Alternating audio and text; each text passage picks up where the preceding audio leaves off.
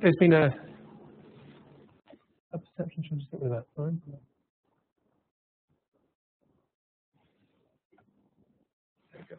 So there's, there's been a perception that floods have been widespread and commonplace in, in the UK in, in particular and in Western Europe. To add on top of that, there's been huge economic losses and there are big socio-economic consequences of large flood events. And in Europe in particular, over the last 20 years, there's been the they've, they've caused the most economic damage of any other natural disaster. So it does give a bit more impetus to, to studying this area. And there was a recent study, I think in 2011, that showed through multiple climate simulations that with an increase increase in greenhouse gas concentration, there was a there was more likelihood that climate change had led to increased risk during the autumn 2000 events. So with climate change expected to lead to an enhancement of precipitation extremes, it again gives a, another reason to be studying these events. So what are atmospheric rivers? Well, they're regions of enhanced moisture transport across the mid-latitudes. So mid-latitudes, we're, we're talking about between 30 degrees north, 60 north, or 30 south and 60 south. They're located within the warm sector of extratropical cyclones. So the storms that we particularly see coming across the North Atlantic Ocean, they're embedded within these storms.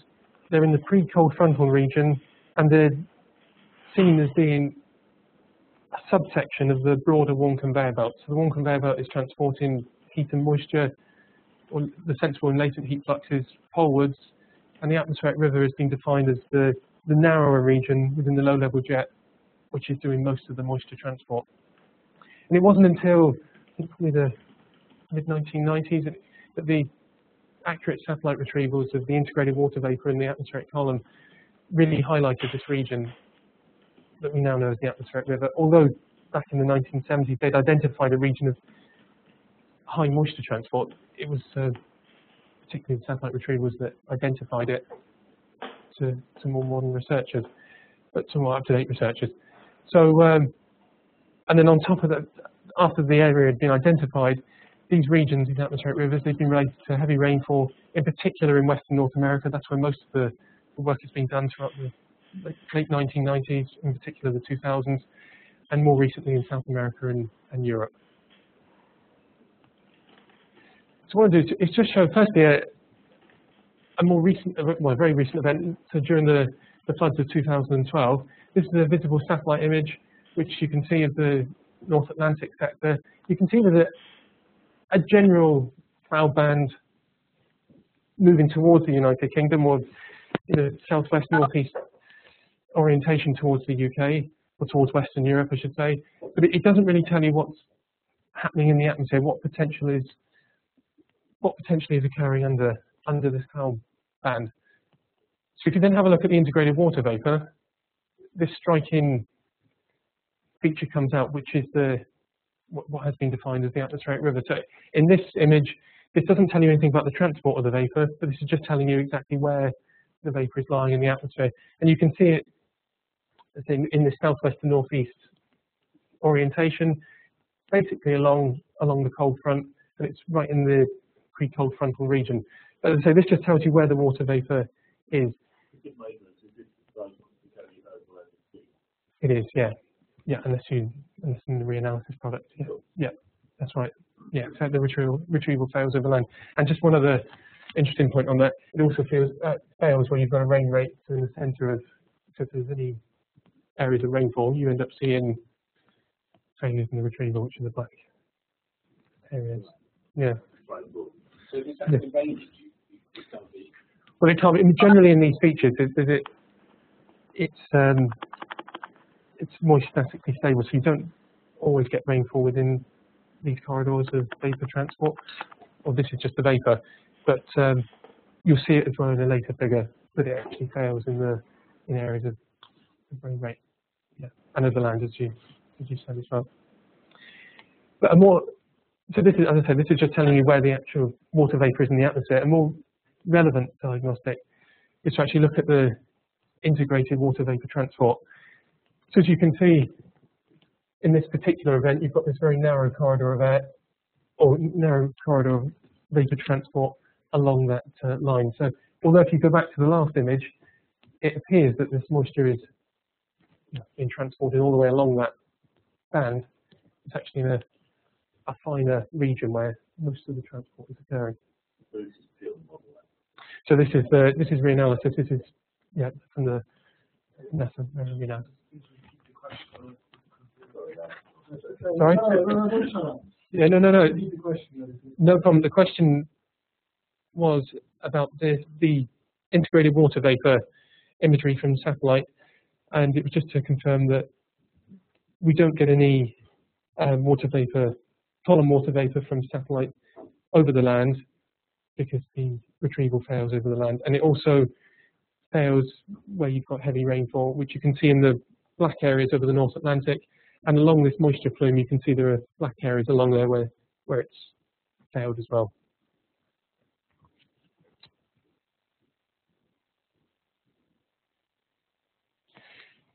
So after that, I just want to uh, go through firstly, as I said earlier, start by looking at Europe. This, this is a it's a very simple tool. It's, it's to identify time steps or times, regions of high moisture transport coming into Western Europe. So what we've done here is um, using the ECMWF ERA interim reanalysis product, we calculate vertically integrated water vapor transport. And what we want to do, we know that extreme vapor transport will be, well, is likely to be related to heavy precipitation and floods. So what we want to do is identify these time steps which are of most relevance to us when these features are occurring. So what we've done here is to consider, obviously as you go from the equator to the pole, you'll end up with varying temperature, which will give you a varying specific humidity or moisture content in the atmosphere. So what, so what we've done is we've created separate vapor transport thresholds in five degree latitude bands up the western boundary of Europe, roughly at 10 degrees west, and in five degree bands, so it's from 35 to 40, 40 to 45, all the way up to 70 north. And we've chosen an extreme integrated vapor transport threshold. It's roughly on the order between 500 and 600 kilograms meter, per meter per second. Um, I won't go through the methodology of how that came about, but that's basically that's considering the most extreme vapor transport events. But furthermore, these atmospheric rivers, moisture transports, they're contained within extratropical cyclones. Now, you can get a storm which will move quickly across Western Europe or whatever your relevant region is. If it does that, you may get a, a time of heavy rainfall, but it's not necessarily going to give you a a, um, a large total of rainfall. So what, what you're really looking for here is a persistent atmospheric river. So by that, we mean that it focused, it's focused on a certain region for a prolonged period of time. And in that definition, what we've said is that you need a one of, one of these focused moisture transports to be over a region for at least 18 hours, which would be three six-hourly time steps in, in the interim reanalysis. And you'd also want it to be spatially persistent. So we've said that this intense region cannot move by more than four and a half degrees latitude, which is roughly 500 kilometers over that 18-hour period.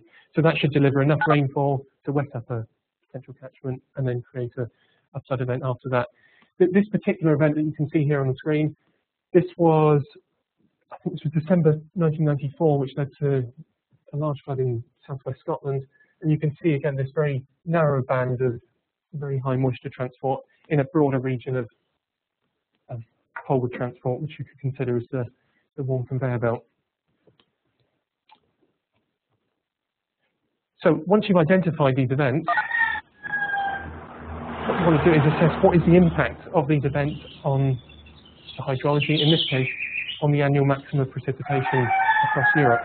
So what these plots here, if we just look at the left panel, this is from the Ensembles project, the E-OBS data set, a quarter of a degree resolution daily observed precipitation product across Europe.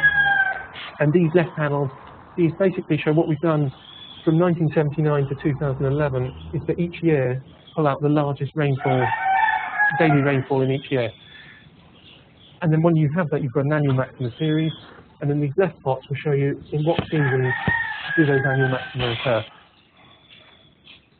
It's quite striking if you look at Western Europe, in particular for December, January, February, which is the top panel, and September, October, November.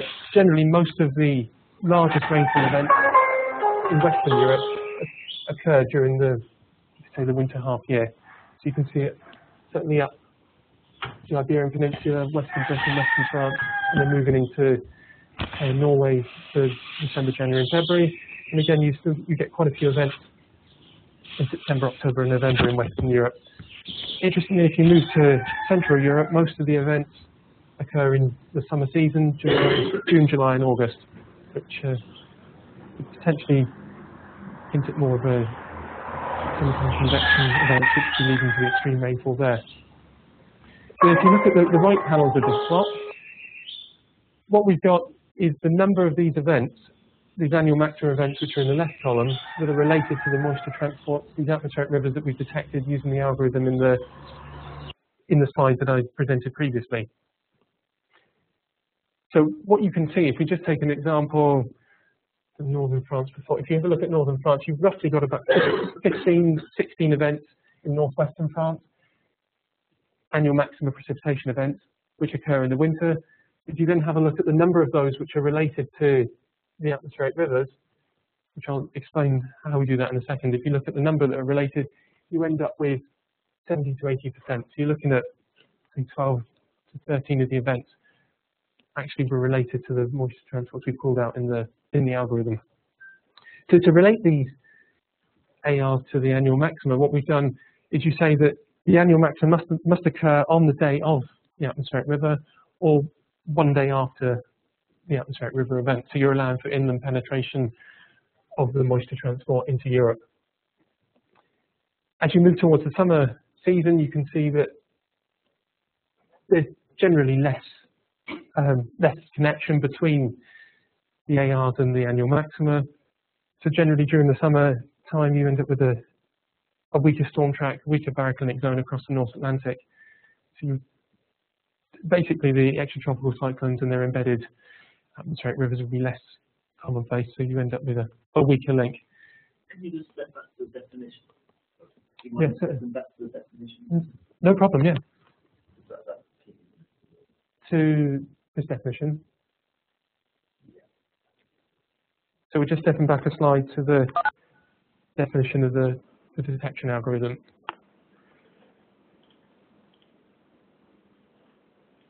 So you, yeah, so you had a, a threshold on system.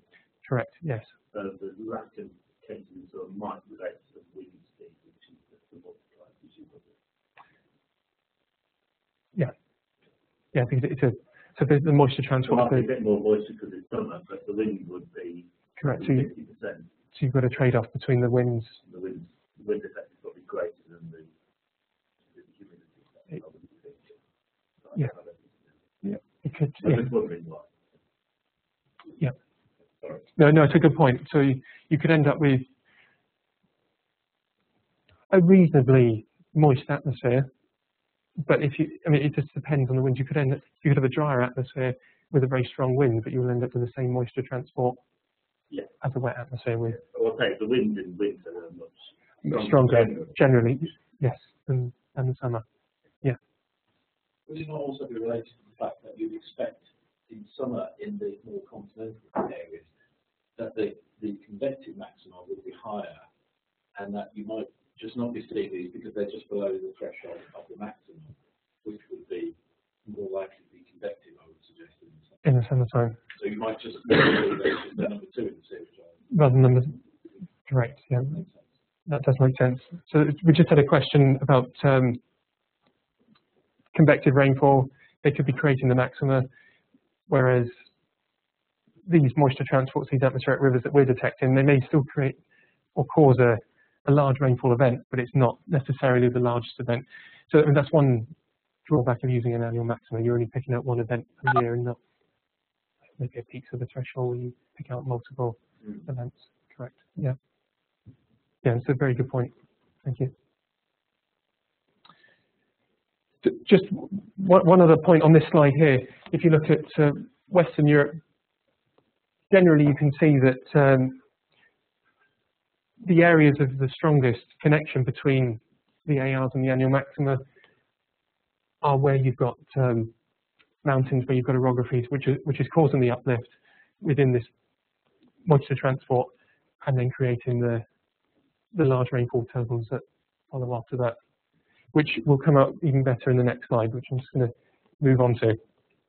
So to try and highlight this link even, even more so, out of these annual maxima series at each grid point, if we have a look at the top 10 annual maxima events, and then see how many of these events were caused by these moisture transports that we pulled out, you'll find large, quite large regions with certainly six, seven, and eight out of ten of their events caused by these ARs over Spain and Portugal, northern France, western Britain, and then moving up into well, even in the, in the Low Countries and up into Scandinavia as well. And these generally follow, even even though these regions in northern France and and Benelux, they're not very high mountains, you can see the effect of orography on the on these extreme events. They basically tra they're tracking the, the mountains across Europe, and in particular, if you look at um, Western, Scot well, Western Scotland, parts of England, France, and Norway, eight of the top ten events were caused by these ARs that we've identified. So there's a, a, very strong connection there. And as I say, these are the most extreme events that we're pulling out. Extreme atmospheric rivers we're pulling out. So even with these, these extremes, which are relatively few events, you're capturing the majority of the, extreme precipitation. So what are the patterns, the, the atmospheric patterns, composite patterns that are related to, to these atmospheric rivers that are affecting different parts of Europe? What you've got here going across the screen, top left we've got from to southern Europe, 35 to 40 north. As you track through, we end up going to northern Europe, 65 to 70 north what you can see is the blue regions are the negative anomalies, red regions are the positive composite anomalies. So what we've done, just to go through the methodology, for each atmospheric river event that you've got, we'll calculate the average pressure over that time, over that event. We'll then create the anomaly pattern of that event with respect to the same time period over the years 1979 to 2011. And we'll then bin these anomaly patterns in these five degree latitude bends right at the western seaboard of Europe. And if you take a composite mean of that anomaly pattern, you can get an idea what pressure setup, what pressure pattern, atmospheric pattern is causing, or is behind those events, I should say. So if you first start off in southern Europe between 35 and 40 north, you can see there's a large low pressure area or area of lower than normal mean sea level pressure anomalies being located generally from Britain right the way down to down to Spain. And then you've got the red area, which are the positive pressure anomalies located over Greenland and Iceland. This would relate to a more of a negative North Atlantic oscillation pattern with a blocked flow, a blocked flow over Northern Europe and um, a storm track affecting Southern Europe with the embedded atmospheric rivers and heavy precip hitting Southern Europe as you move towards Northern Europe, you get towards 45 to 50 north, 50 to 55, you end up with almost a, a classic NAO, North Atlantic oscillation pattern between the Azores and, and Iceland. And then again, as you start moving further north, you end up with this dipole pattern between the pressure anomalies. I must stress that they're not necessarily in the same locations as would be used in the traditional North Atlantic oscillation pattern. So you're, you're picking out the most relevant areas that across Europe that are related to these atmospheric river events. So it just highlights quite nicely the shifting patterns as you go across across Europe.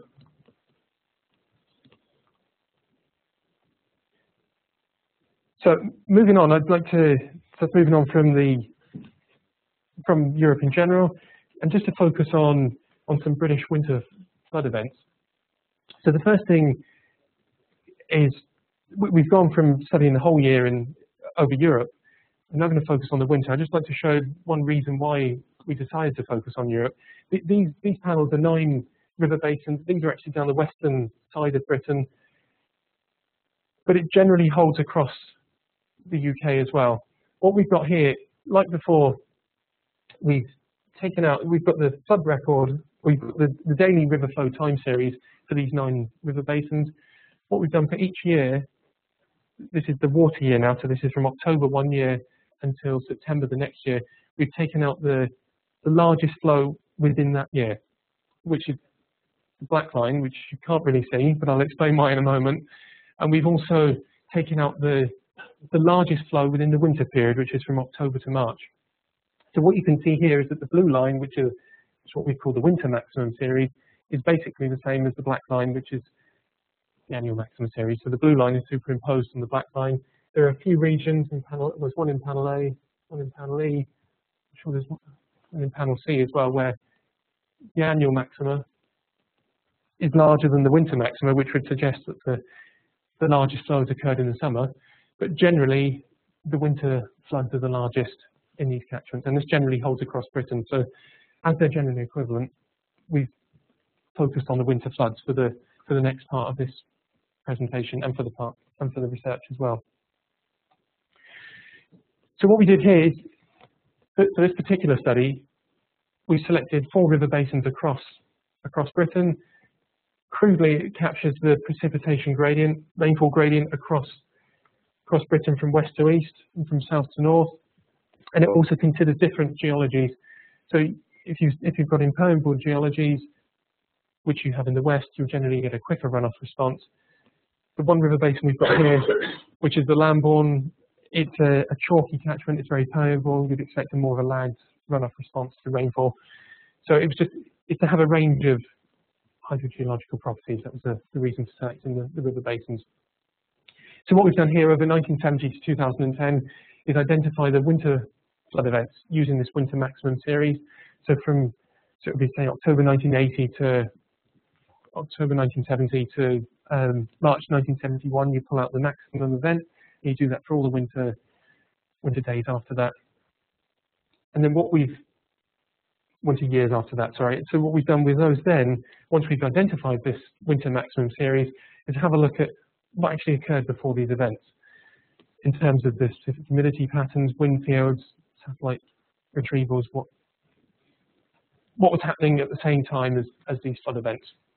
So it's basically a, a, a bottom-up approach, if you like, to you're using the impact to identify what's happening in the atmosphere. So in particular, I want to firstly show, I mentioned this in the in the background slide.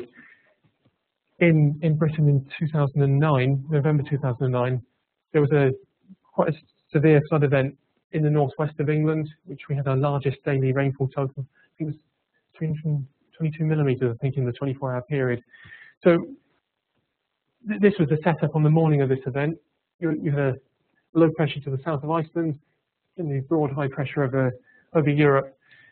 And within this region, this is the low-level 900 millibars specific humidity. You ended up with a, a very moist air mass, which manifested itself as a, a warm conveyor belt with a, an atmospheric river within it, which was basically impacting this black dot that you can see on the screen, which is the, the Lake District in northwest England. And it was there for a prolonged period of time, which delivered a huge amount of moisture, huge amount of rainfall, and then the resultant floods after that. So th this is the satellite retrieval of the column integrated water vapor, precipitable water at the time of the event. Going back to the, the question that was brought up earlier, you've got the blue region, which in this case is the high um, column water vapor values.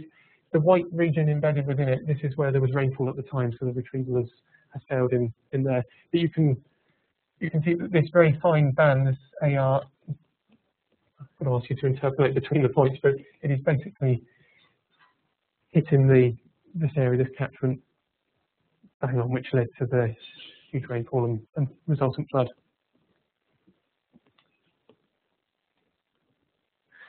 So that was just for one of one event in this particular river basin. This is the, the River Eden in the, in the northwest. So what were the patterns for the largest 10 winter floods? Is it a consistent pattern? That's what we were we were looking for. And what you can see from this part, these are the top 10 events. This is the event I just showed. So it's actually the fourth largest event for this particular river basin. And what you can see is generally for for these top 10 events, you end up with a persistent moisture field, moisture transport with a southwest northeast orientation towards the, the River Eden. So this particular catchment in, in northwest England. So what you can see is this is not just a one-off event. This is a this particular setup is the the cause of the largest event in this river basin, which comes out quite nicely in this plot here. I should say for the other two river basins, there was one in more of the southwest of the UK and one in the northwest of Britain. Similar patterns do come out, although they've got slightly different orientations because the basins are in different locations. If you move to the permeable geolo geology, which I mentioned, this, this small catchment in southern England, the Lambourn, you generally need a series of storms. You need more rainfall events to give you a, a flood event. So you, it, it, tends to be either a couple of months of prolonged rainfall or a winter rainfall so that you then get the largest flows at the end of the recharge season, which would generally be March, April for, for southern England. So then what was, it, what was the, the atmospheric circulation behind these top 10 events in, in these four river basins? So the, the plots I just showed, the top 10 events, that was for the, the Eden catchment, and this is the, the resultant geopotential field. This is the 900 millibar geopotential field. And what you can see is you've got a, a lower than normal geopotential to the west of Britain, west of the south of Iceland, higher than normal pressure over Europe, which led to the poleward advection of moisture-laden air within the warm sector of storms, and the, the heavy rainfall events that followed after it. If you look at the more northern catchment, so this is in the far northwest of Scotland, there's more of a zonal pattern there, to be honest with you. So it's more of a west-east pattern, but you've still got this dipole of positive and negative anomalies, which you can see in the top right plot. For southwestern England, again, it, this is more of a similar pattern to the panel A plot in the, the River Eden, to the River Tavy that it's called. Again, you've got this lower than normal geopotential, which is drawing out the, the moisture over the river basin. As I said before, with this permeable catchment in panel, panel D, the River Lambourn, there is a hint of, during these top 10 events, at, at the time of the event, there's a hint of a lower than normal geopotential across the river basin, across Britain, but the link is far weaker than for the more quickly responding or fast responding catchments in the in the west, which are the top three three panels. So these these relationships between the flood events and atmospheric rivers are more striking in the fast responding river basins in the west, which is partly is partly to do with the impermeable geology, steeper slopes, which will lead to a, a quicker runoff.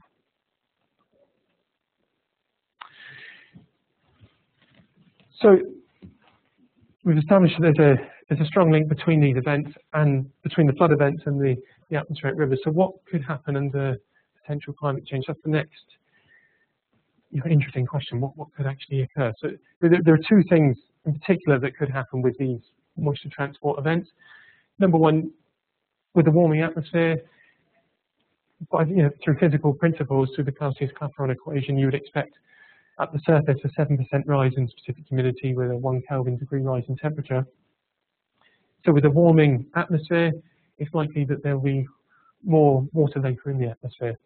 So potentially more water vapor could be transported. So you could end up with larger rainfall totals and then in effect larger floods.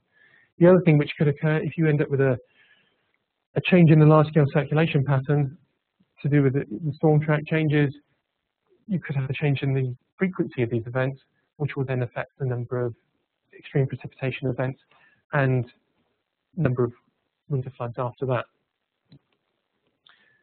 So what we've done is a the climate model intercomparison project, phase five, the CMIP 5 project has got a, a number of client model runs.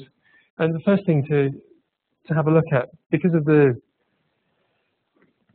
you could say the the fine structure of these moisture transport events, these atmospheric rivers, can these be picked out within the climate model well, which are on resolutions of 100, 150, 200 kilometer uh, grid spacing. So what we've done here, we've selected five climate models due to, basically due to availability of a six hourly time resolution set of the humidity and the wind.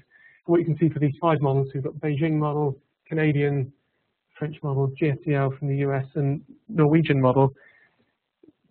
What I've just shown here, these are examples of moisture transport which we've detected in these products using a similar algorithm to the one I introduced for Europe.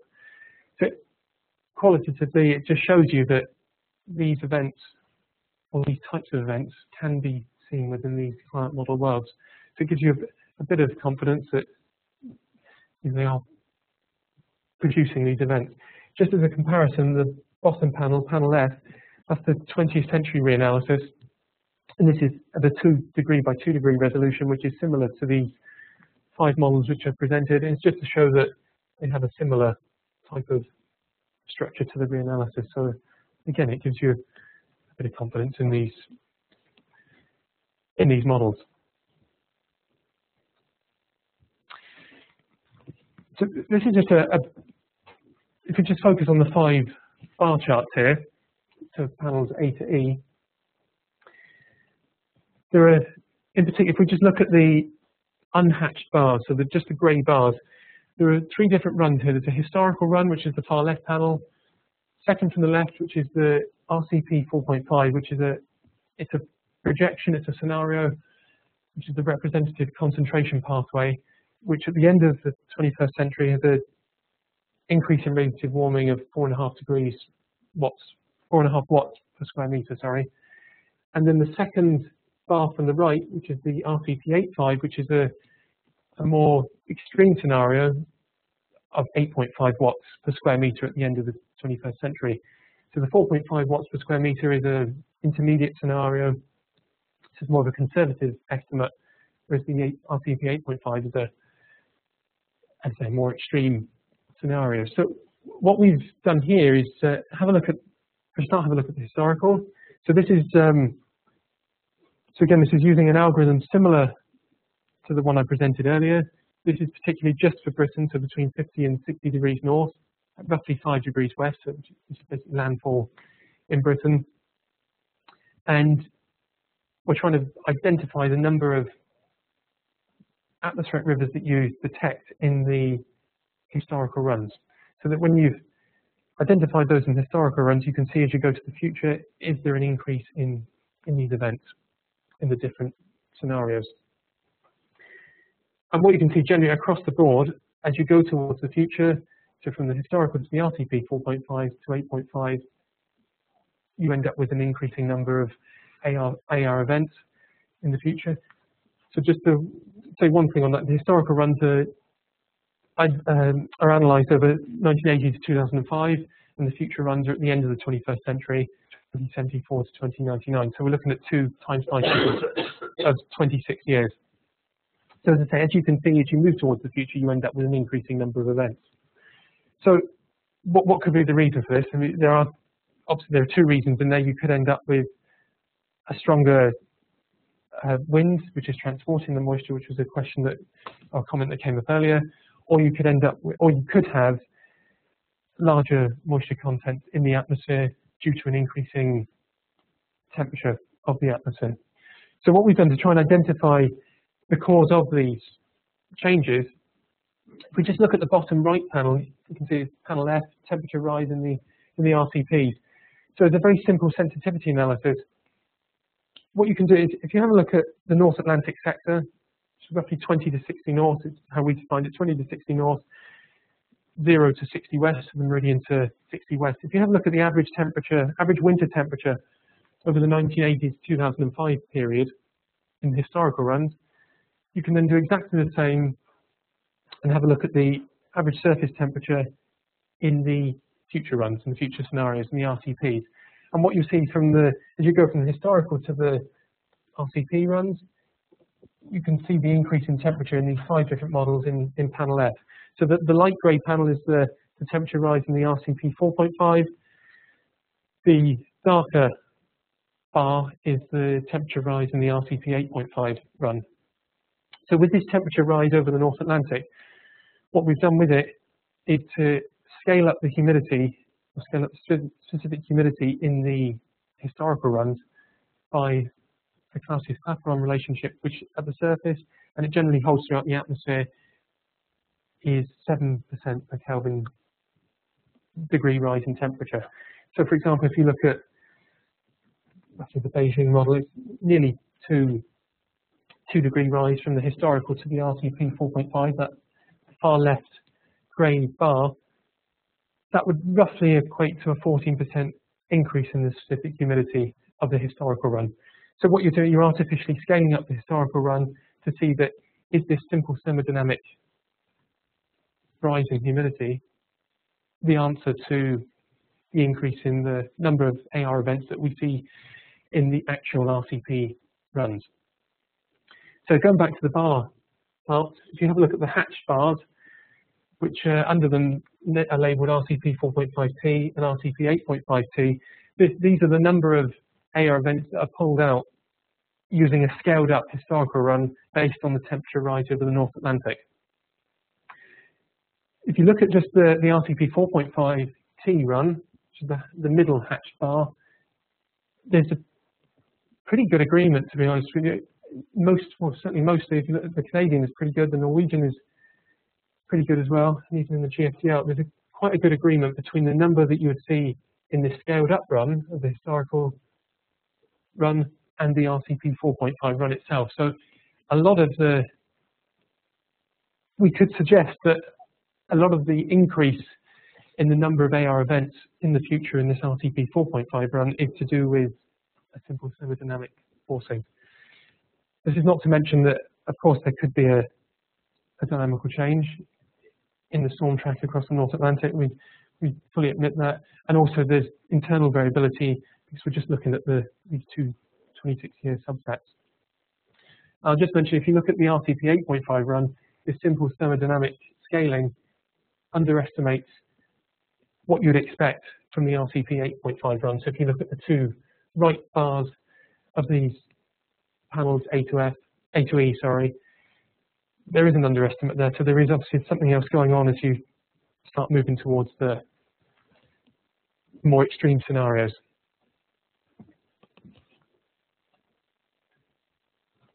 So I just wanted to to highlight that, that thermodynamic change that we just I've just spoken about in the last slide. This is just one model in particular. This is a Norwegian model.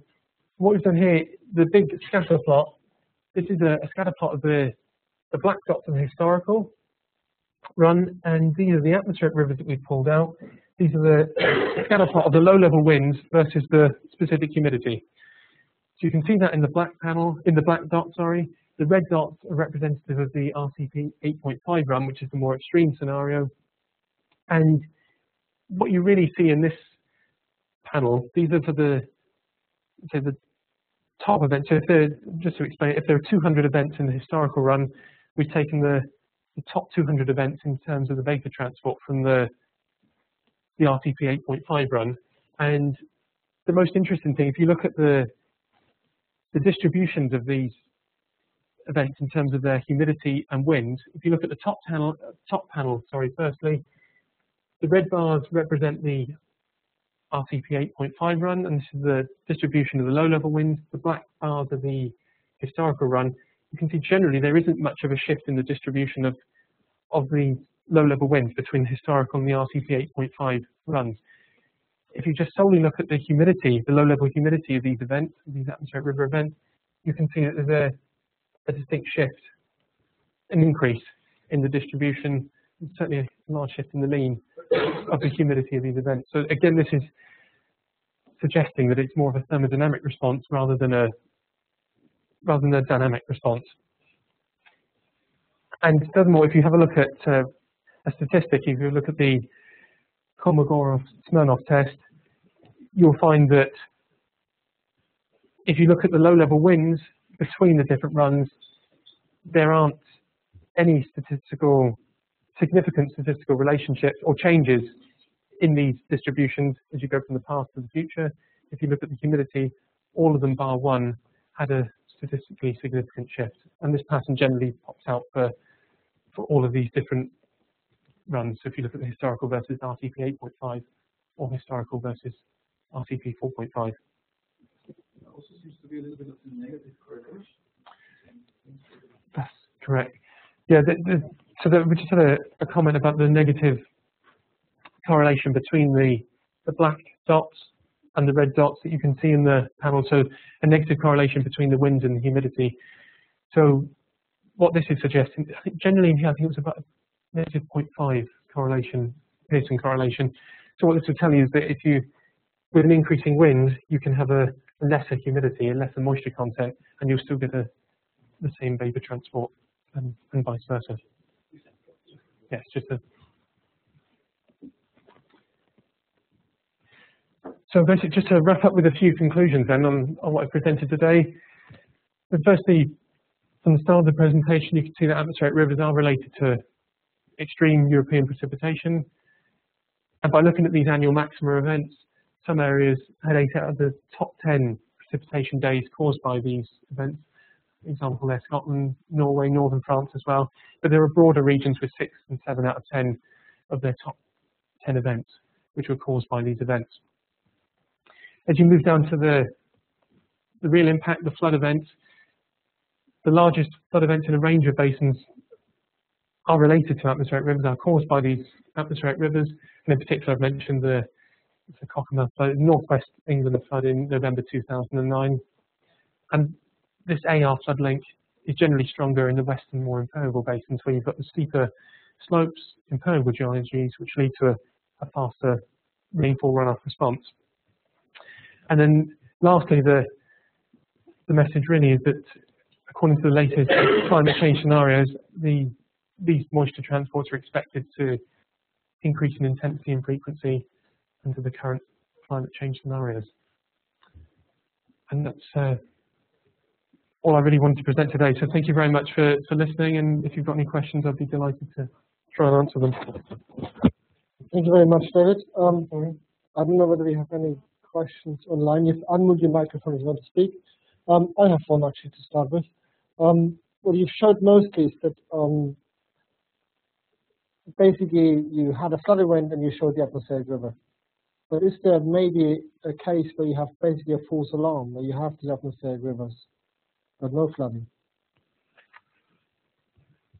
Thank you, Lauren.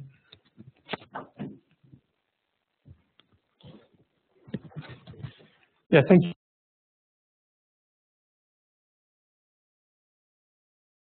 This is where you don't